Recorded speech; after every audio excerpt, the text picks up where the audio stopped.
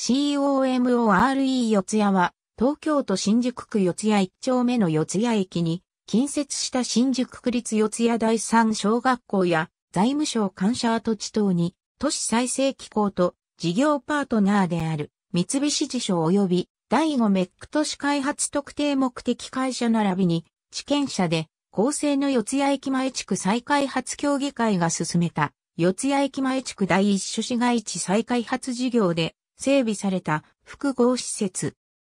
約2.4ヘクタールの土地にオフィス、レジデンス、商業、教育、公益の各施設のほか、災害時には、帰宅困難者の一時滞在場所や地域住民の一時、集合場所機能となる、緑豊かな空間も作られた。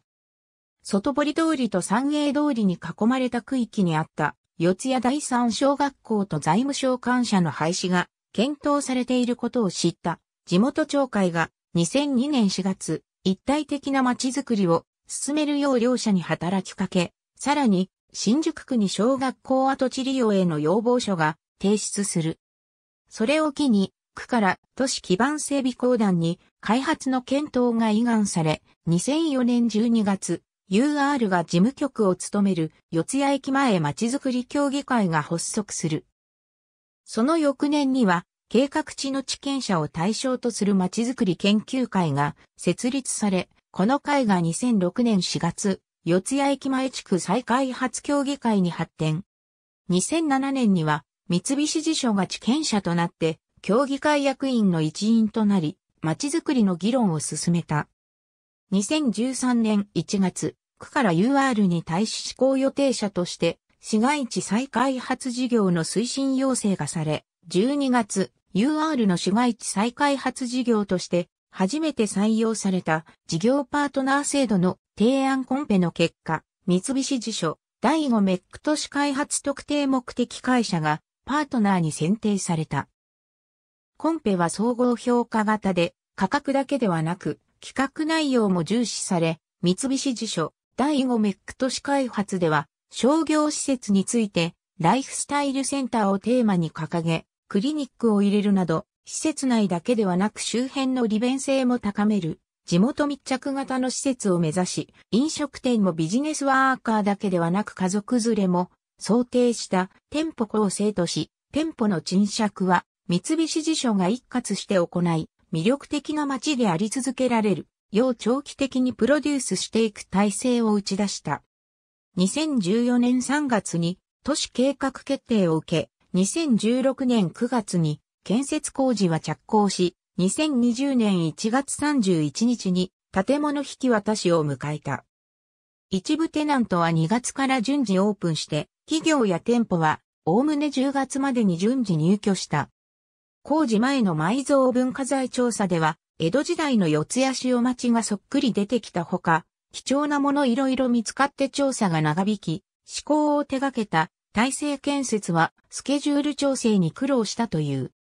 名称の COMORE 四谷は大規模複合施設が人とつながり、街とつながり、いつでも憩いと賑わいで溢れる施設に成長させたいとの思いを込めた木漏れ日イコール、木漏れと顧問イコール共同、共通をかけた造語であり、公募により募った案から地権者が投票して決定した。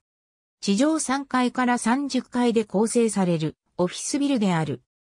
四谷はビジネス街というイメージが薄かったため、当初供給する三菱地所内でも心配されたが、四谷に唯一無二のビルで結果的にライバルもいなかったこともあって、リーシングは好調に推移した。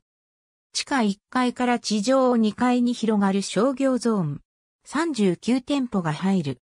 地上3階から7階の住宅は、敷地南西側のザレジデンス、四谷アベニューと北東側のザレジデンス、四谷ガーデンの2棟からなる。権利者10個と販売10個の計60個があり、このうち販売10個24個は、三菱実所レジデンスと西松建設が共同で分譲した。地上3から7階で構成され、日米会話学院等が入居。生涯学習や産学連携の場となる。地下2階地下1階が四谷スポーツスクエアとなり、多目的ホールや音楽室、会議室が設けられ、地域に開放される。地上1階から4階の四谷クルーセは文化国際交流拠点として国際交流基金と国際観光振興機構が入居する。北西側に約3300平方メートルの木漏れ日の広場、駅前側に交流空間として約1000平方メートルの出迎えの広場を設けた。